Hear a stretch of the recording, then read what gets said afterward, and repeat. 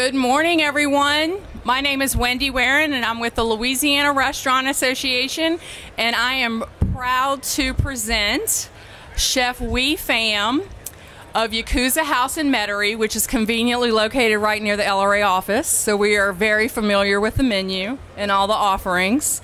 And we watch at the bar as Chef breaks down Wagyu, tuna, creates masterful pieces of sushi and nigiri and we really saw this as an opportunity to bring him to the show with Fortune Fish and Gourmet to do something that we haven't done in a very long time, which is do a breakdown of a fish demonstration on the main stage. So, with that, I would like to turn it over to Chef Huy Pham, and he is going to walk us through the breakdown of this beautiful bluefina brand sustainably raised tuna.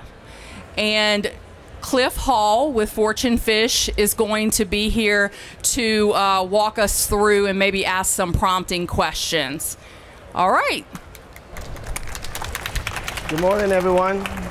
Um, as y'all know, my name is Chef Huy, uh, executive chef and owner at Yakuza House located in Metairie. Today we're going to be breaking down this uh, 90 pound to 100 pound bluefin tuna that's been provided by one of my trusted vendors, uh, Fortune Fish and Gourmet, uh, that's been ranched out of bluefina. Um, we're going to be breaking down into a five piece filet. Uh, in Japanese it's called gomai oroshi, uh, which consists of uh, two belly loins and two top akami loins, okay? And the rib cage, okay?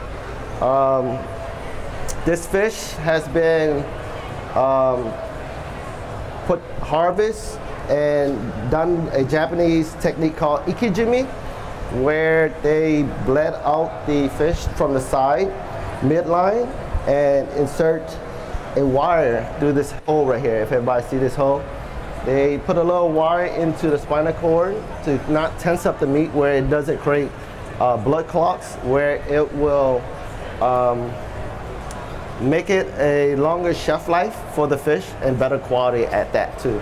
Okay, so let's get started. Cliff is going to take over um, and tell you about, a little bit more about the fish. Okay. So these tuna are raised off the coast of California around the Baja area, a little bit south, going into Mexico, the Coronado Islands. Uh, it's very, very pristine waters. Um, Fortune is really big on sustainability and working with vendors uh, and suppliers that work very hard at making sure the next generation can have product as well. So Bluefina um, pretty much goes above and beyond um, with their sustainability uh, and the traceability of the tuna. Each tuna comes with a tag. Uh, it is numbered so that the customer can actually trace it back to the date that it was harvested uh, this fish was harvested a day and a half ago, but um, and that will take you to the website so that, that, you're able to learn more about. Also, you can do that probably with the little signs up front if you want more information. But these fish are raised with natural feed. They're not fed with pellets. Um, they they catch the natural feed that's in that area, and uh, and they're they're fed those in pens that they're raised inside yeah, of the ocean. Now we'll be here for a little bit, as you know, um, while Chef's cutting this up for the demonstration purposes. But after he finishes, our booth is just right there, uh, 1519. We will be taking the cuts back to our booth, and then Chef and then our chef Shinobu Yamamoto uh, who is also a Fortune employee, um, been with us a very long time. Um, Ready? They will be creating some opportunities for you guys to sample the tuna.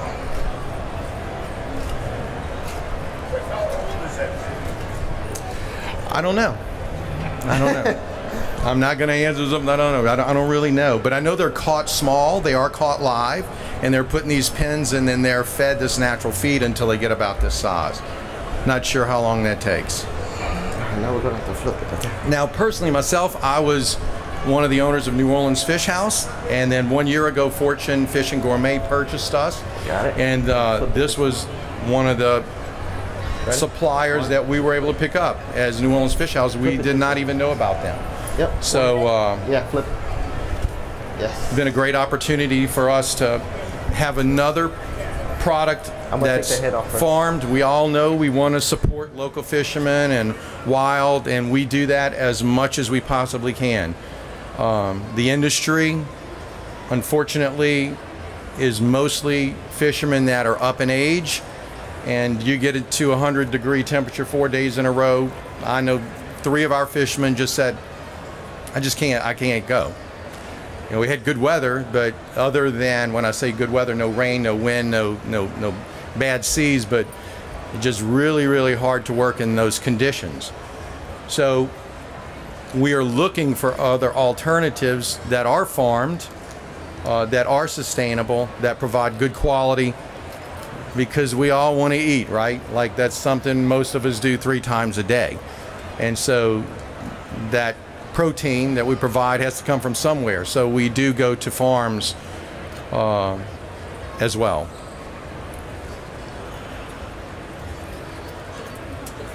So when you say they're caught small, so from the time they're caught, a typical size, and how long Yeah, they're 20 to 20 to 35 pounds to go from that size to to the harvestable size. I couldn't give you the exact time.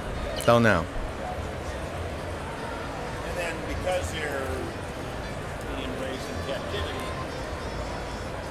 That do to the, uh, the market size? Does it make it more stable? Very stable.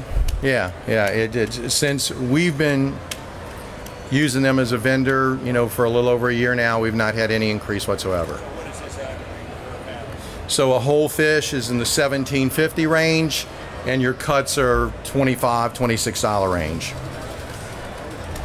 The toro on a fish this size is not separated out and sold just as toro, so it comes with the bottom loin. So, but it's still in in in wild, uh, and we buy I buy one to two wild bluefin every week while they're available because there's also a demand for that as well. The mirror shifted. Okay, I, y'all give me some help. Yeah, down. A little bit more. A little bit right there. Tighten up the other knob on the other side too.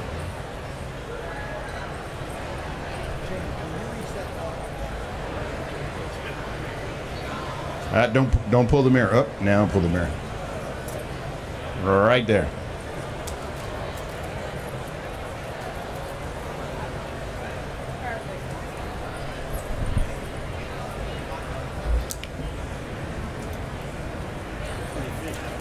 But again, you'll notice once chef starts making these cuts, even though the the toro part, which is the belly part, and chef can kind of once he gets he's concentrating on cutting right now, but once it's cut, he can kind of describe how he uses each of these pieces. But the fat content is amazing for a fish this size.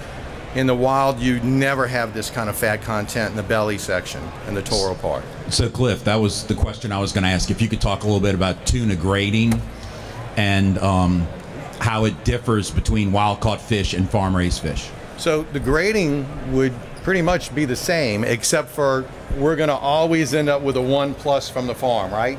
Because there's never going to be caught online on the boat time, travel time for the boat, because a boat cannot go out and catch one fish and just come back in. Uh, a tuna boat goes out, you're looking at a 25 minimum thousand dollar investment for fuel, ice, food. They're going out there for you know over a week, so it's a and it's a business. So they have to go catch enough to make enough to come in. When you do that, you get fish that are caught on the first day that are on the boat for seven days, and those fish are going to be a lower grade just because of age. There's nothing wrong with the fish, but it's not going to be a one plus quality like this fish that's been out the the, the water for 30 hours. So we have people at docks that grade for wild, and then what will happen is when they come in, I will get a picture of a tail cut and a center core that we can we can pull with a with a stainless steel rod basically and see about that much of the loin in two different directions. So I know going toward the tail and going toward the head. And so then we'll match up that core sample with the tail cut to make sure that that fish is the same coloration all the way through because the last thing I want to do is buy a fish for a lot of money that looks like a one plus. I get it to the shop. I've made my deal. Captain's free. Cut the fish and then the bottom's heated uh, which could happen. And so then I then then I take a big loss. But yeah this fish like this is one grade.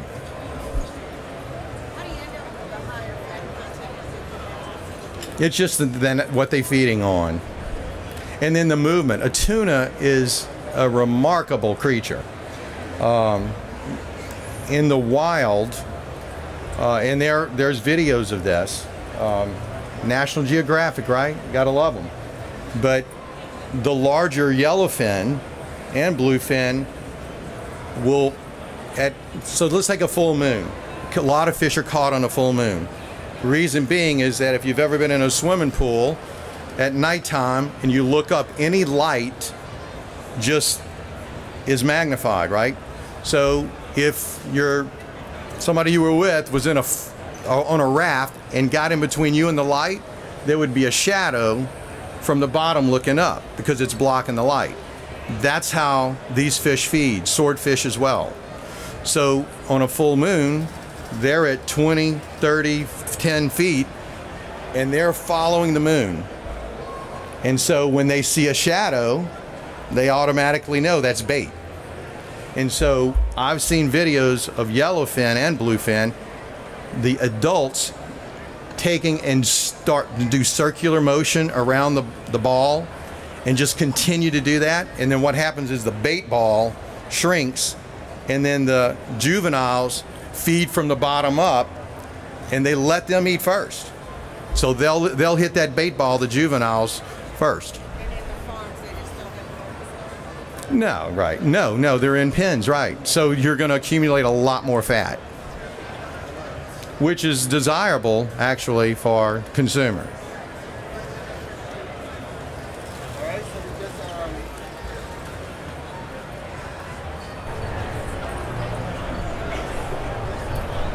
Hello? All right, so we just took off the top loin. This one right here is usually consists of a lot of akami, which is the leaner part of the bluefin tuna.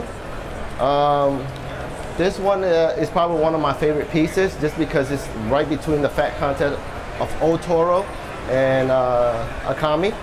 The belly loin right here is usually consists of the otoro, the belly section, which is uh, probably you could call it the wagyu of the sea. It's, uh, there's a lot of fat content in this one, really good. Everyone usually really love these at uh, sushi at restaurants. The best of the best experience that you can have with uh, the belly. Um, chutoro, so it goes from otoro, chutoro to akami. Those are the three parts. And chef, what would you use those three parts for? Like if you're putting together, if Uh, somebody was coming. Usually, I I love to pair it with truffle.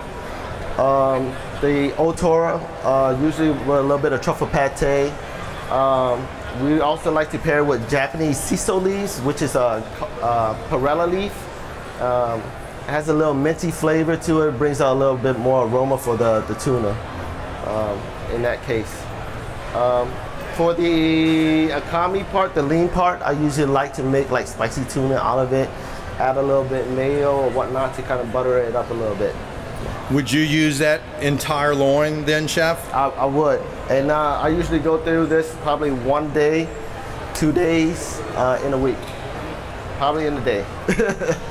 we probably go, yeah, we go through about two tunas a, a week, easily. And as we know, the you know the sushi kind of desire has really grown the last few years. I'd say for us, I've been in the business for 35 years. It's it might be the between the Mexican restaurants and the sushi uh, opportunities really grown so much over the last few years. But for myself, to have a chef like Chef Pham here, really appreciate the quality of what he's working with. He's willing to pay more. Like this is this is more than what a wild bluefin would go for. Now with the wild, you're not going to get it. You're not going to get it 12 months out the year. Those wild bluefin migrate. It's mind blowing. So the largest spawning ground for wild bluefin is the Gulf of Mexico, and so they come into the Gulf around February, and then it'll make it to June, July maybe, and then that same tuna will then head back out through the Gulf Stream around Florida and go back to Canada. And that school of bluefin I will be buying at the end of the year, September. Even now, I'm getting it now. The, I think the waters are so much warmer this year. They they went north a lot quicker than they normally would have. So the same fish that were in the Gulf in May and June are now in Canada. And then they'll move their they'll move the, just a natural progression. They'll follow back down into the Gulf for spawning. So um, you're not able to get wild bluefin on a weekly basis. It can be hit and miss, and then a quality of wild bluefin can really be hit and miss as well. But this, you know what you're getting every time. So for me, as a supplier, while we have to be value minded for our customer, very much appreciate somebody like Chef who's willing to say, you know what, I know I could wild, buy wild right now for less money, but he's not willing to let you come into his restaurant and maybe find a difference from one week to the other. He wants a consistent product, so you have a consistent product. Like Wendy said, they're basically neighbors, and they know what they're going to get when they go in there to eat. As an owner operator as well, I'll just give y'all a little tip on every restaurant you go eat at. If you can eat at an owner operator's restaurant, there's a benefit to that, I'll just tell you. Especially when they're like chef.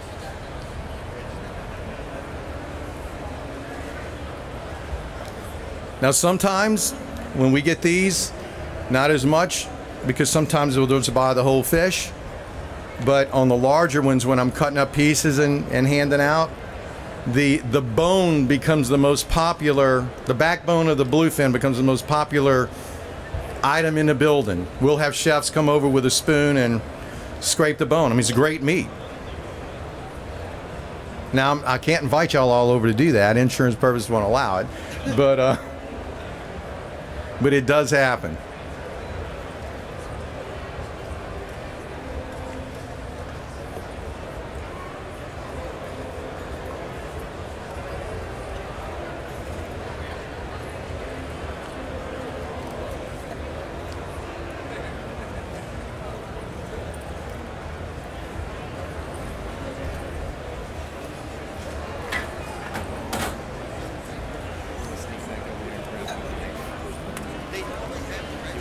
If you haven't had the opportunity or privilege of tasting the toro or the belly part, um,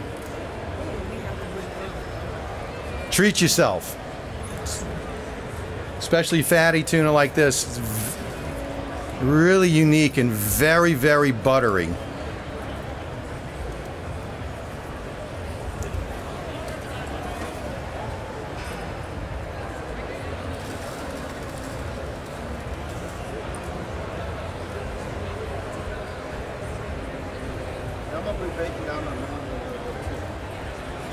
Okay, so chef's going to break down the loin a little bit now. Yes, sir. The best, one of the best pieces of the bluefin tuna is actually called the kamatoro. Is uh, you probably could get like four loins out of it, where it's hidden right behind the neckline. You see this part right here? That's probably even better than otoro, right here. These is uh, probably priced probably thirty dollars a piece at restaurants. Yeah. Now, on the wild, when they cut the head off, they keep that. So we don't actually get that the way they cut the head off. These fish, because they're farmed, come in with the head on, so we have the opportunity to get it from there.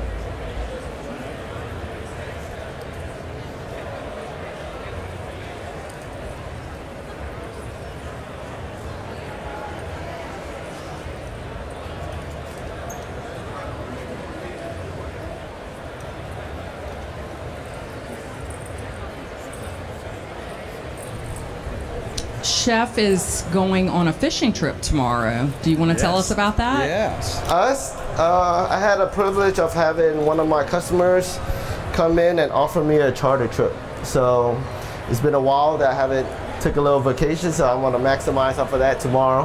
We're gonna go actually for tuna fishing tomorrow and red snapper, so a little bit more tuna for the week. Yeah. And you bring in your staff, right? I am, and we're There gonna go, go. live on Yakuza House. We're gonna bring all our ingredients out there to uh, actually uh, put on a show on the boat tomorrow. Now, is your are you going to film that, chef, where that can be watched later? It will. Uh, y'all can be watched. If we have signal out there, we'll try to go live. If not, we're gonna record everything that goes down out there and then uh, probably post it on our, our page the following day. You are you on all the social media platforms? Uh, we are on Facebook, um, Instagram. Instagram, correct. Um, I have my lovely wife over here that takes care of all my management um, team. Well, I got a feeling that uh, after this House. morning, you're going to have a lot more followers Oh, thank you, Uh, thank you. on that. All right, so we're gonna break down this uh, belly loin into sections, okay?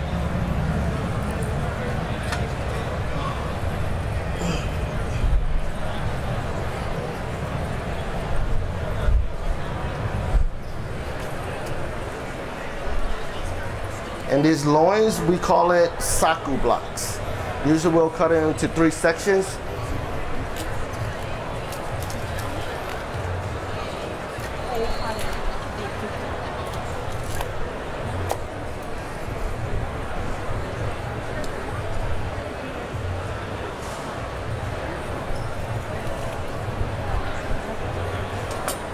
See, y'all guys can actually see. This is uh, this is the bloodline which we're gonna take out in a, li- in a little bit. This is the kami. From here to here is actually called chutoro, and from here to here is actually the otoro, the belly section. Now, again, we're going to bring these pieces back to our booth, 1519, the Fortune Fish and Gourmet booth, that you can uh, you can touch and feel if you want. Um, and with light, the lighting's not that great. I wish you could see how beautiful that fat content is in that fish. Yes, sir. Thank you. Uh, I recently went tuna fishing in the Gulf, and I wanted to try a little bit of it off the dock. So we had the, the guide just give a little slice right there off the boat. Figure it'll never be fresher. I'll never get fresher fish in my life, and it was not tasty. It was Yeah. it was tough. It kind of tasted like water. Same fish. Right. A couple days later in my fridge was some of the best tuna I've ever had in my life.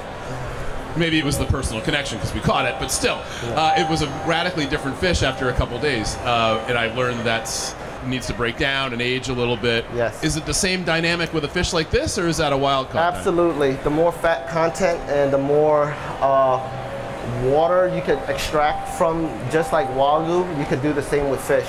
Just as as in my restaurant, we, I guess the perception of uh, whenever you say fresh is always best. Um, there's been a a new trend where you're aging or curing things, right? Um, we like to try to extract as much water as possible from in our restaurant to uh, make that flavor profile a little bit more intense. Um, whenever you let it sit in the fridge for a day or two, it creates the, the proteins actually amino acid actually breaks down and uh, creates a little bit more umami flavor inside the fish. Um, that's why lately a lot of people have been dry aging fish. Yeah. Yeah, GW Fins is a uh, Mike Nelson's a he's a very good customer, but he's really big into dry aging lots of different types of fish. Yes. Cliff, you said the fish was going to be back at your booth. Yes, we'll bring the pieces once he's finished to booth 1519. Can we touch uh, with our lips? Oh yes. So yeah. So I don't know if you missed that. I think I said it earlier. Maybe maybe I didn't. But Shinobu and Chef is going to actually be preparing some of it for consumption. Yes. Lots of happy people.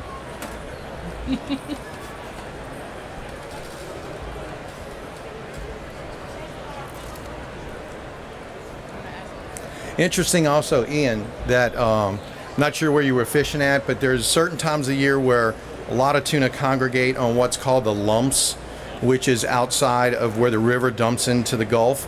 You know, Yeah, well, that's pretty far offshore. Uh, that might not be that, but you can get fish that are in that area. They feed heavily on pogies, and that's really what's brought them in. And the reason it's called lumps is because as the rivers dropped sand into, into the Gulf, it, it literally makes lumps. And so the bait fish and porgies will get inside of that area and the tuna will come and eat and like frenzy feed on it. And I've had fish that were brought to me that were out of the water less than six hours where the rigor mortis had just started setting in. So this fish sitting flat, so rigor mortis will take that and bend that fish up for about three or four hours, and then it will start to relax and break back down, touching the ground, right? So I've had them, so where they were in the beginning and stages of rigor mortis, that fresh, and not be good at all. It's just purely because of how they're feeding, what they were feeding on, and then, uh, you know, tuna, if it gets excited, it, it can it produce some enzymes, and it, it does affect the meat. And it's like, this is crazy that a fish could be that fresh and not have any color to it. Yeah. Yeah, sure. And oxygen really changes fish as well. Like like tuna, it will blossom.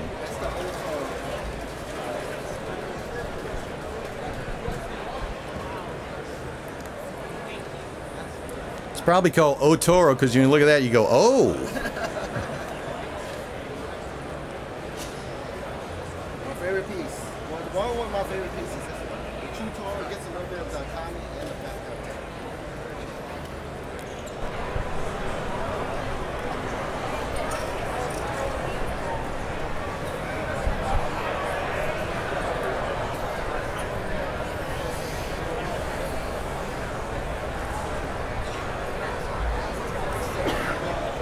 Yeah, Look at that. Beautiful. Super, super beautiful. Right. Some, It, it some- honestly does, doesn't it? yeah, Bluefin carries really, really good tuna. Uh, I ran through some. I love to support local, you know, uh, as every Louisiana chef does. Um, but just compared to the local Gulf tuna, uh, some of the Gulf tuna has a lot of sinuance and it's uh, very bloody. It looks kind of. It could sometimes taste metallic, but um, they do a really good job. This company does really good job on, on this bluefin tuna. That's why I carry it at my restaurant. two weeks ago, I was talking to Jensen Tuna, which is where I buy the majority of the, the local tuna that we get. And so I was like, Dave, always asking this question around the summertime because we live here, right? And so none of us want a hurricane. And the last thing we need for a hurricane is have hot water, right? So I'm like, Dave, we- we're 100 degrees, 100 degrees, 100 degrees, 100 degrees. What is the sea temperature right now offshore where they're blue, where they're fishing for tuna? It was 96 degrees was the surface temperature way offshore. So now, of course, the deeper you go, it's not going to be that hot, but still, it's warmer water. Whereas this is raised in the Pacific Ocean, much cooler water. I, I personally believe that has an impact on the quality of the fish as well.